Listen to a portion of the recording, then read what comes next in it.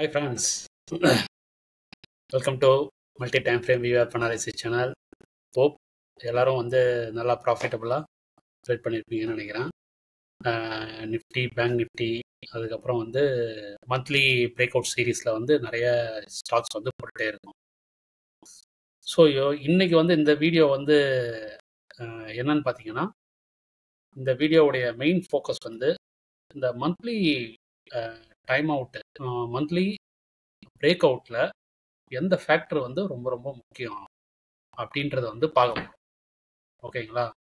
எந்த ஒரு ஸ்டாக்குமே அது மந்தோடைய டைம் ஃப்ரேமாக இருக்கட்டும் இல்லை வீக்லி டைம் ஃப்ரேமாக இருக்கட்டும் இல்லை டெய்லி டைம் ஃப்ரேமாக இருக்கட்டும் இல்லை இன்ட்ராடே டைம் ஃப்ரேமாக கூட இருக்கட்டும். எந்த அளவுக்கு அந்த ஸ்டாக் வந்து கம்ப்ரெஷன் ஆகுதோ அந்த அளவுக்கு அந்த ஸ்டாக் வந்து மேலே போகுன்றது வந்து ஐடியல் தட் மீன்ஸ் மேலன்றது தப்பு. எந்த அளவுக்கு அந்த ஸ்டாக் வந்து கம்ப்ரெஷன் ஆகுதோ அந்த அளவுக்கு அந்த ஸ்டாக் வந்து எக்ஸ்பென்ஷன் ஆகும். ஒன்று டாப் சைடில் இல்லை பாட்டம் சைடில் கம்பெனியுடைய சேல்ஸு ப்ராஃபிட்டு லாங் டேர்ம் கோலு பிளா பிளா பிளா எல்லா ஃபண்டமெண்டலையும் அந்த ஸ்டாக் வந்து நல்ல கம்ப்ரெஷனில் இருந்ததுன்னா அந்த ஸ்டாக் வந்து எக்ஸ்போ எக்ஸ்போர்ட் ஆகும்போது ரொம்ப பயங்கரமாக இருக்கும். நல்ல ஃபண்டமெண்டலாக இருந்ததுன்னா அந்த ஸ்டாக் வந்து மேலே போகும். ஃபண்டமெண்டல் சரியில்லை இன்வெஸ்டரோட எக்ஸ்பெக்டேஷன் வந்து ஃபுல்ஃபில் பண்ணலைன்னா அந்த ஸ்டாக் வந்து கீழே வந்துடும் ஸோ இதான் லாஜிக் ஸோ இப்போ நம்மளுடைய ஃபோக்கஸ் வந்து எங்கே இருக்கணும்னா எவ்வளோக்கு எவ்வளோ அந்த ஸ்டாக் வந்து கம்ப்ரெஷன்லேயே இருக்கோ ஓகேங்களா? ரொம்ப ரொம்ப நல்லது. அதோடைய சயின்ஸ் என்னன்னு சொல்கிறதுக்கு முன்னாடி எக்ஸாம்பிளை மட்டும் பார்த்துடலாம். எந்தெந்த ஸ்டாக்லாம் வந்து பாஸ்டில் வந்து எந்த அளவு கம்ப்ரெஷன் ஆச்சு ஸோ இப்போ அடுத்து நம்மளுடைய ஜாப் வந்து இதே மாதிரியே இருக்கிற ஸ்டாக்கை வந்து நாம் வந்து கண்டுபிடிக்கணும். ஓகேங்களா நம்ம கண்ணுக்கு முன்னாடி ஒரு நூறு ஸ்டாக் இருக்கும். பட் அந்த நூறு ஸ்டாக்கில் எதெல்லாம் பார்த்தோம்னா அந்த நூறு ஸ்டாக் வந்து நம்ம பிக் பண்ணுறதுக்கு ஹேண்ட் பிக் பண்ணுறதுக்கு எந்தெந்த ஸ்டாக்லாம் வந்து எலிஜிபிலிட்டி அப்படின்றத வந்து பார்க்கலாம். வாங்க. என்னுடைய ஸ்க்ரீனை ஷேர் பண்ணுறேன் பாருங்கள் இப்போ நம்ம பார்க்குற stock MRO tech reality limited ஓகேங்களா ஆல்ரெடி இந்த ஸ்டாக் வந்து நம்ம சேனல்லையும் போட்டிருக்கோம் போல். பாருங்கள் இந்த ஸ்டாக்கு கடந்த ரெண்டாயிரத்தி எட்டுல இருந்து இன்னைக்கு தேதி வரைக்கும் எந்த அளவுக்கு வந்து இந்த ஸ்டாக் வந்து ப்ளூ ஆயிருக்குன்னு பார்க்கலாம். ரெண்டாயிரத்தி இருபத்தெட்டில் மேக்ஸிமம் டவுன் ஆனது வந்து பார்த்தீங்கன்னா ரெண்டாயிரத்தி எட்டுலேருந்து இந்த ஒரு காலத்தில் மேக்ஸிமம் டவுனு தொண்ணூத்தாறு சதவிகிதம் டவுனு அடுத்த டவுனு எண்பது சதவிகிதம். ஓகேங்களா? அடுத்த டவுனு ஜஸ்ட்டு முப்பத்தஞ்சு சதவிகிதம் தான் அடுத்த டவுனு ஸோ இதுதான் வந்து இந்த கம்ப்ரெஷன் ஆகிருக்கிற வாலட்டிலிட்டி பேட்டர்ன் அதாவது அந்த ஸ்டாக்கு செல் சைடில் நடந்திருக்கிற வாலட்டிலிட்டி பேட்டர்ன் ஃபஸ்ட் இதில் என்ன தெரியுதுன்னு பார்த்தீங்கன்னா செல்லர்ஸ் வந்து எக்ஸாஸ்ட் ஆகிட்டாங்க பையர் வந்து ஸ்ட்ராங் ஆகிட்டு வராங்க. ஸோ அதுதான் வந்து இதில் வந்து ஒரு மீனிங்ஃபுல் செல்லர்ஸ் வந்து எக்ஸா எக்ஸாஸ்ட் ஆகிறாங்க.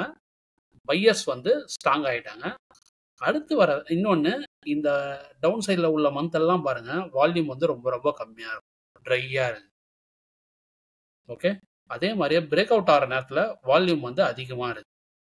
ஸோ இதுதான் வந்து வேலிடு பாயிண்ட் ஓகேங்களா அடுத்த ஒரு ஸ்டாக்கை போய் பார்க்கலாம். Great Eastern Shipping Corporation GE Shipping ஓகேங்களா பாருங்க எந்த அளவுக்கு வந்து ஒரு கிளாசிக்கலான கம்ப்ரெஷன் பேட்டர்ன் வந்து பாருங்க.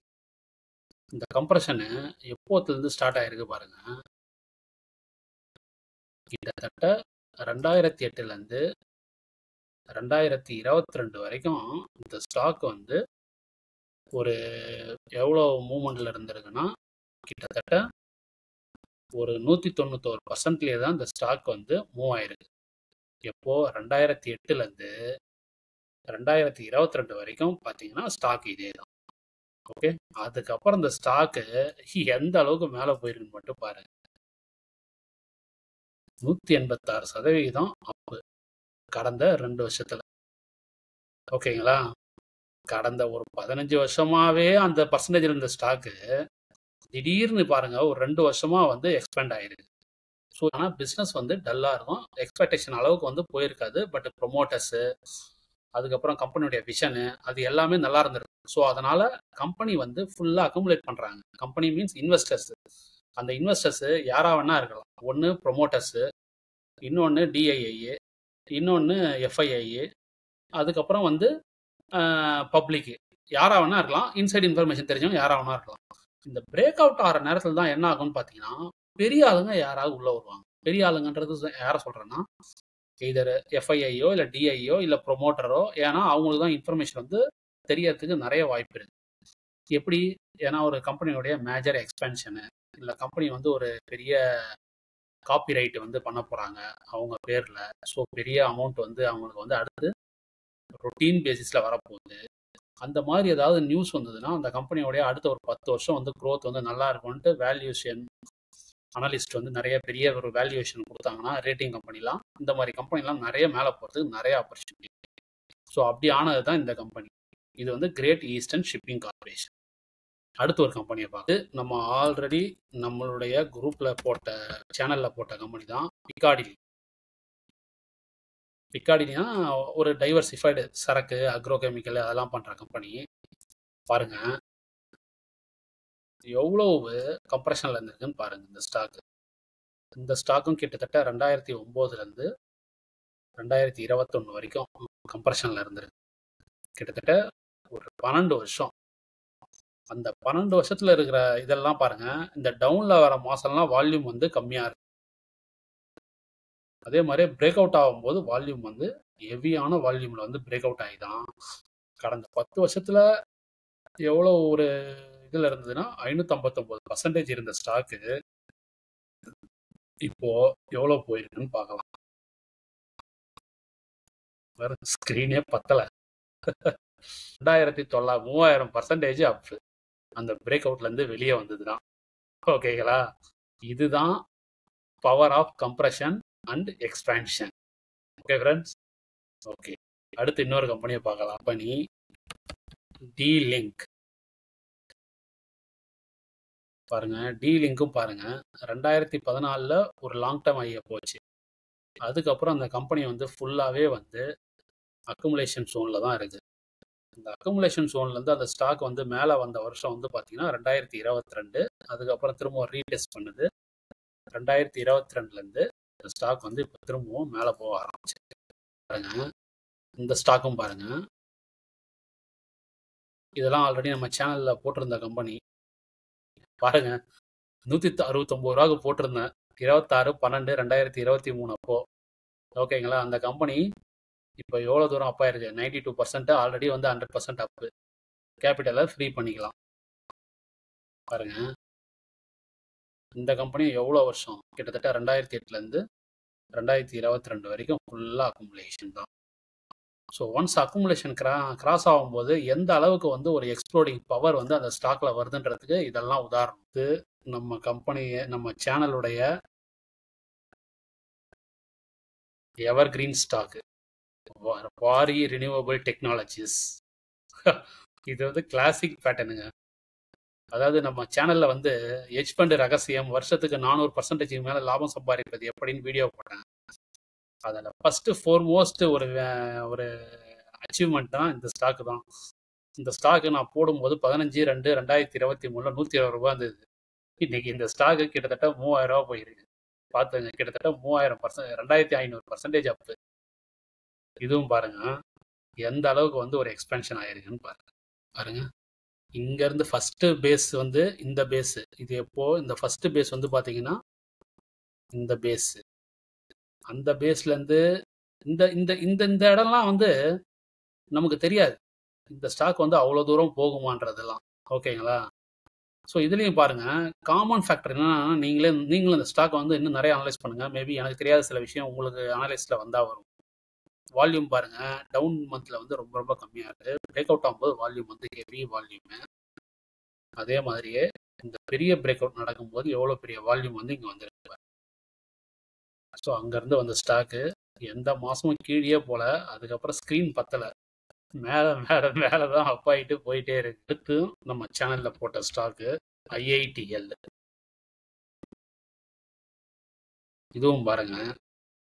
கிளாசிக்கலான ஒரு கம்ப்ரெஷன் பேட்டர்னு அந்த கம்ப்ரெஷன் பேட்டர்னை மேலே போயிட்டு அதுக்கப்புறம் இந்த ஸ்டாக் வந்து இப்போ திரும்பவும் கீழே வந்து ரீடெஸ்ட் ஒன்று வந்து ரீடெஸ்ட் பண்ணியிருக்கு அகர்வால் இண்டஸ்ட்ரியல் கார்பரேஷன் ஸ்டாக் பாருங்க. எக்ஸாக்டா இது அந்த ஒரு மந்த் மந்த்துடைய கப்பன் ஹேண்டில் ஃபார்மேஷன்னா நீங்க யாருன்னு கத்துக்க விரும்புனீங்கன்னா இந்த ஸ்டாக்கை வந்து நீங்க வந்து பெஞ்ச்மார்க்காக எடுத்துக்கலாம். இதில் தான் வந்து எக்ஸாக்ட் கப்பன் ஹேண்டில் ஃபார்மேஷன் வந்து எக்ஸாக்டாக ஃபார்ம் ஆயிருக்கு பாருங்க. இதுதான் வந்து real cup and handle formation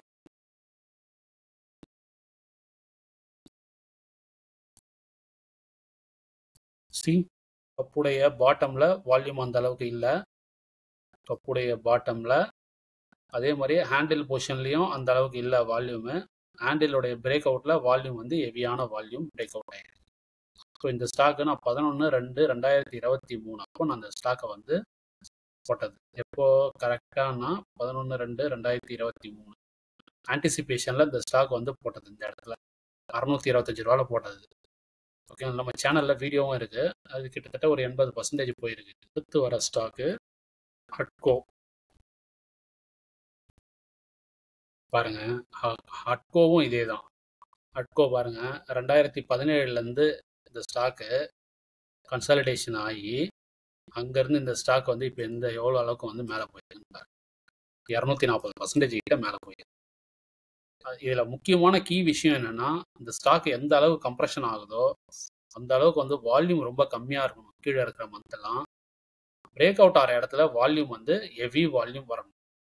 இதுதான் வந்து நம்மளுக்கு வந்து தம்பு ரூல் அதுதான் வந்து இந்த ஸ்டாக்கும் நடந்திருக்கு. ஃப்ரெண்ட்ஸ் இந்த வீடியோ வந்து உங்களுக்கு ரொம்ப ஹெல்ப்ஃபுல்லாக இருந்திருக்கும்னு நினைக்கிறேன். எப்படி வந்து ஒரு பிரேக் அவுட் ஸ்டாக்கை வந்து நமக்கு வந்து பார்க்கணுன்றது.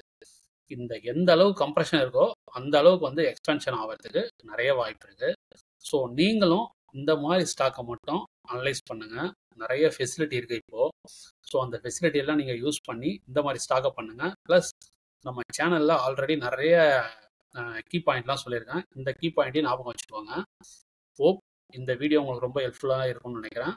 இன்னொரு நல்ல வீடியோவில் பார்க்கலாம் ஃப்ரெண்ட்ஸ் நம்ம சேனலில் Nifty Bank Nifty analysis plus இந்த மாதிரி மந்த்லி பிரேக் அவுட் எதுக்காக மந்த்லி பிரேக் அவுட் இம்பார்ட்டன்ட்டு தெரியாதவங்க நம்ம சேனலில் ஆல்ரெடி நிறைய வீடியோ இருக்குது to you know the secrets of hedge fund இன்வெஸ்டிங்னு ஒரு வீடியோ இருக்கும். அந்த சேனல் அந்த வீடியோவை பாருங்கள் ஹவு வெல்த் கிரியேட்டட்னு ஒரு வீடியோ இருக்கும். எப்படி வந்து இந்த மந்த்லி பிரேக் அவுட் ஸ்டாக்கில் எப்படி வந்து இன்வெஸ்ட்மெண்ட் பண்ணிட்டு பேசிவ் இன்கம்மை எப்படி ஜென்ரேட் பண்ணுறது அப்படின்றத அந்த வீடியோவில் தெளிவாக விளக்கிருப்பேன் உங்களுக்கு டவுட் எதனா இருந்ததுன்னா இந்த வீடியோட கமெண்ட்ல பண்ணுங்க. நான் எல்லா டவுட்டையும் கிளியர் பண்ணுறேன்.